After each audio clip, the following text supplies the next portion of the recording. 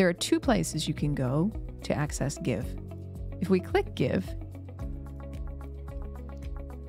this page explains all the different ways that you can give by check, online, stock and wire transfer, in memory and honor, planned giving, or giving with QCDs.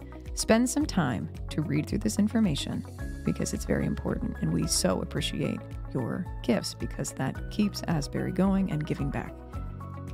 To make a one time gift, simply click on Give Now.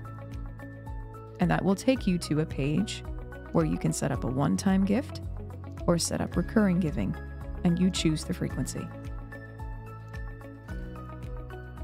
I'm going to close this out to go back to Give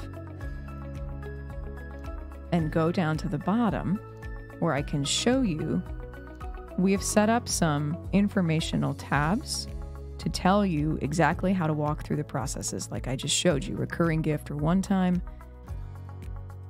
Always, as always, we have a contact us button on the bottom so you can ask those questions to us in person. Back up to the top with Give, there's another tab called Financial Information.